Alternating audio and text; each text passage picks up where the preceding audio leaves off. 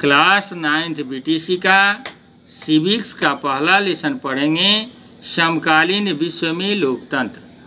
पहले जानेंगे कि लोकतंत्र क्या है, किसे कहते हैं।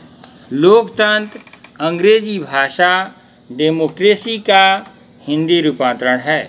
डेमोक्रेसी ग्रीक भाषा के दो शब्दों के योग से बना है। डेमोस और क्रेसिया डेमोस का अर्थ होता है जनता और क्रेसिया का अर्थ होता है शासन, अर्थात जनता का शासन। अब्राहम लिंकन के द्वारा लोकतंत्र की परिभाषा दी गई है। लोकतंत्र जनता का, जनता द्वारा और जनता के लिए शासन है।